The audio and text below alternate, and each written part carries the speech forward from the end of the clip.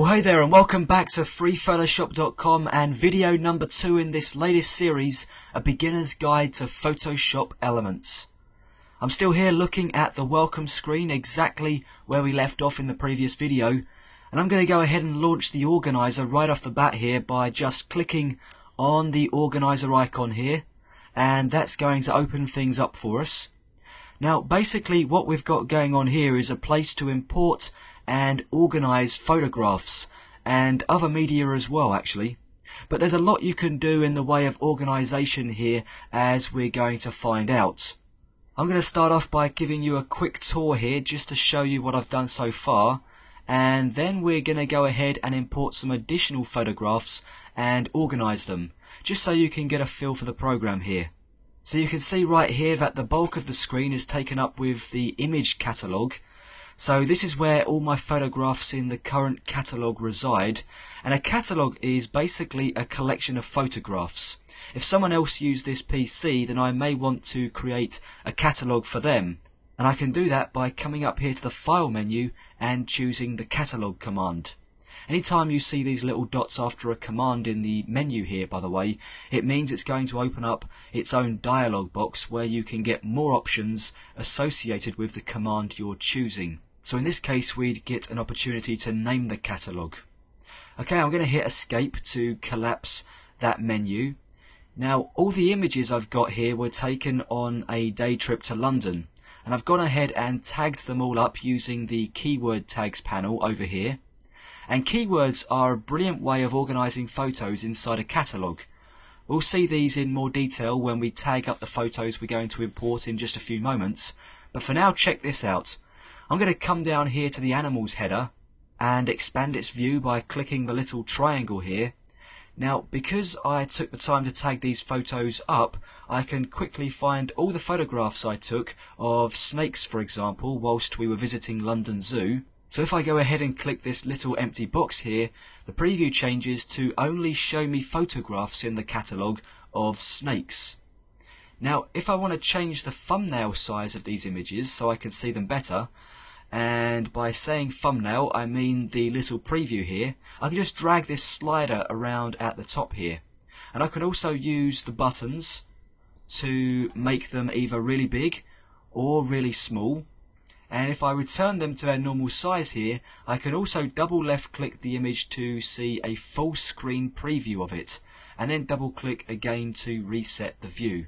Now to return to the full catalogue view, I'm going to click this little box again next to the word snakes. So it releases the snakes keyword and we're now viewing everything inside our image catalogue. Okay, another thing you may notice here is that some of the images have dark grey borders around them. And that's because they represent stacks of images. That's what the grey border is actually representing. Sometimes when you're taking photographs, you may take, say, three or four of the same thing just to make sure that when you get back to your computer, you've got a really good version of that image. Well, instead of choosing the best photograph and then throwing the rest away, you can put them into image stacks, which is exactly what I've done here. So you can see with this squirrel, for example, if I click the little arrow here, I can expand the stack, and now I can see all the attempts I had of shooting this little squirrel. I can collapse the stack as well by just clicking the little arrow again. And whilst we're on the subject of moving things around, we can also drag these panels on the right hand side around by just dragging the grey bar with the mouse.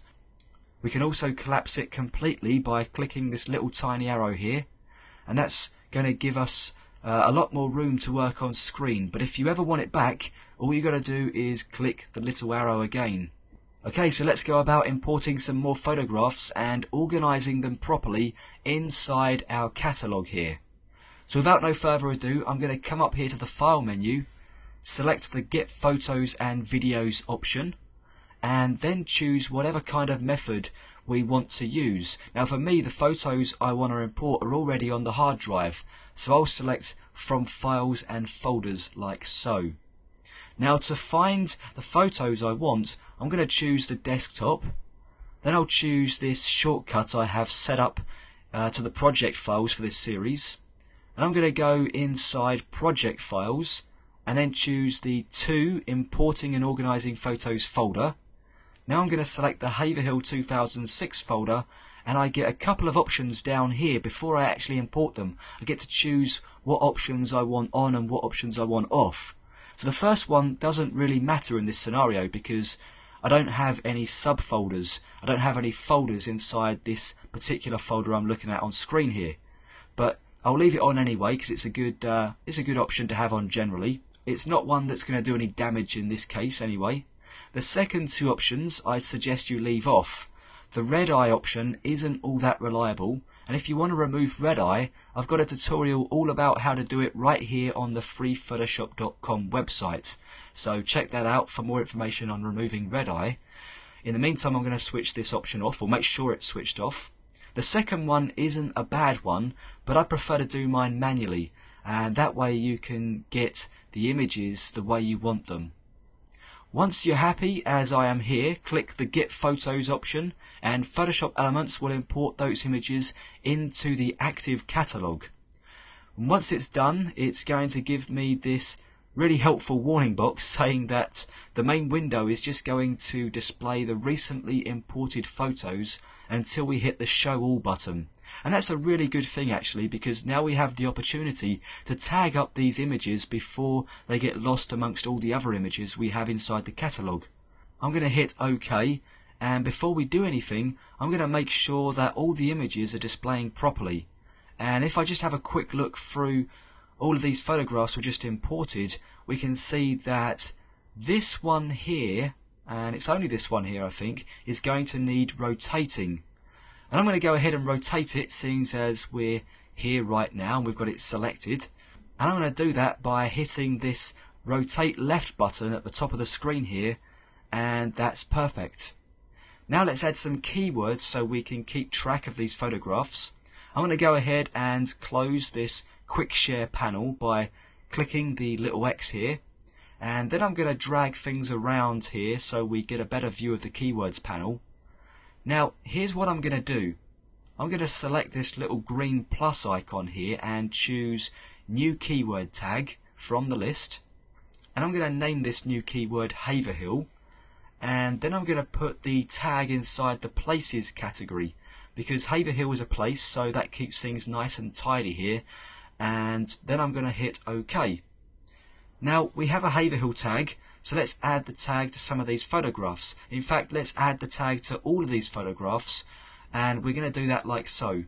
We can either drag the tag onto these images one by one, which is going to take a little bit of time, or we can just select all the images by making them smaller using the size slider at the top here, and then just clicking down here and then dragging over all the images. And that's selected all the images that we have available to us right now. Now if I drag the tag onto the photographs, it's going to add the tag to all the images we have selected. So that's just what we want to do. Okay, that's great. I'm going to return these thumbnails to a decent size and then we're going to scroll down here towards the bottom and we have a couple of similar photos of this river here. Let me just enlarge things even more so we get a good view of what we're looking at right now.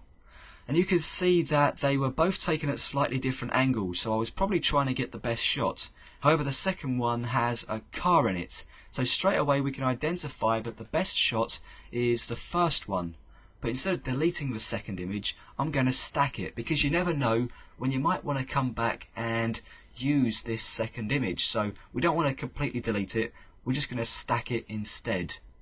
And I'm going to do that by selecting the first one and then shift clicking the second one so we get both of them selected here.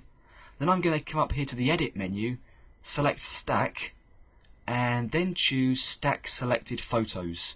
Easy as that.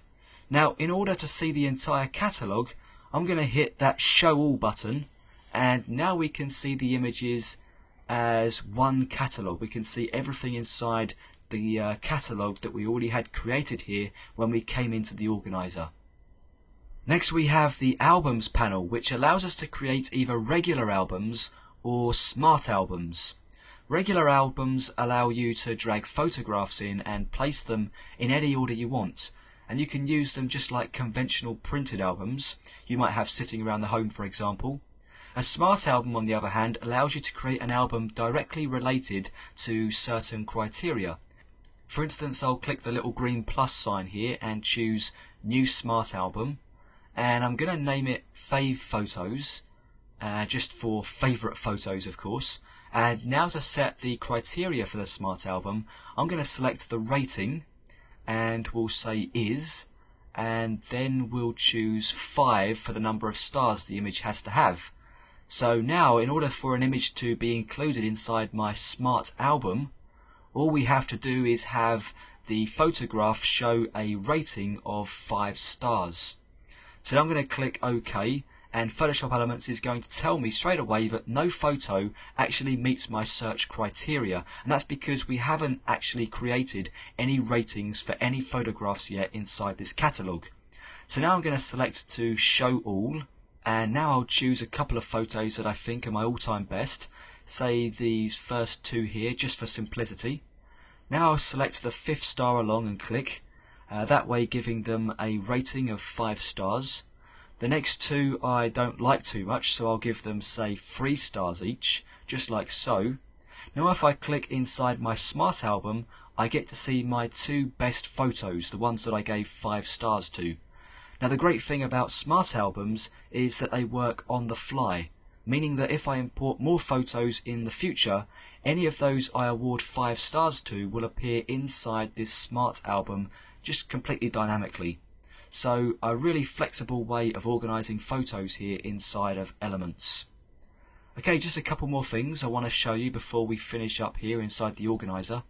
I'm going to hit the show all button to see all the photographs then I'm going to come up here and select the display options and then choose the date view. Now I can find photographs based on when I took them. So if I navigate back to 2006 here for example, you can see that I have some photographs which were taken on the 11th of April. And if I select the date and then come down here to the bottom and click the day option, I get to see all the images I took on this day. So it's just another way of organizing and actually finding photographs here inside of Photoshop Elements. Okay, I'm going to switch back to the photo browser view by clicking the icon at the bottom here. Then I'll come back up to the display button and this time hit the show map option. And we get to see some instructions on how to use it. I'm just going to click OK here and Photoshop Elements will open up a map courtesy of Yahoo Maps it is actually, see by the icon here. Um, and that's going to appear on the left hand side as it has done on my screen. Now all you do is navigate the map using the controls down here that are available on the standard Yahoo map screen actually. And when you've found the location of where the image was taken, you're just going to simply drag the image onto the map surface. What that's going to do is embed the GPS data onto the file itself so it relates to that coordinate here inside the map view. And it's not going to leave any physical marks on the image, it's basically going to include the information, the GPS information, into the metadata of the file. So you're never going to see it's there, you're never going to know that it's there unless you actually look at the metadata of the image. So the metadata being information relating to when the file was taken, the date, the uh, camera specifications, the information regarding to how the shot was actually taken, that kind of stuff is uh, classed as metadata of the image. So the GPS information is just being included in those tags associated with the file. And this is a really cool feature of Photoshop Elements, I've got to say, the actual map view here, the fact that you can just drag images onto a map to identify where they were taken. It's uh, certainly a part of Photoshop Elements that I particularly like. You may not, but uh, I urge you to experiment here inside the map view just to see if things are going to work and appeal in the same way as they do to me. You may not like it. Up to you. Okay, I'm going to X out of the map view and finally I'll come back up here to the display button and select this option here, view photos in full screen. Effectively what we've got going on here is a full screen slideshow. I'm going to make a few adjustments by making sure the music is switched off uh, if it isn't already and then set the duration to, well, let's go with two seconds actually. Once we're ready we'll click OK to begin the slideshow and you'll notice that we still have a menu bar up here at the top of the screen where we can do things like rate the images as they play along. I'm not going to do that however, instead I'm just going to sit back and watch the show. In the next video we're going to check out the guided and quick fix modes available here inside of Photoshop Elements. Thanks for joining me as always here at 3photoshop.com and I'll see you in the next video.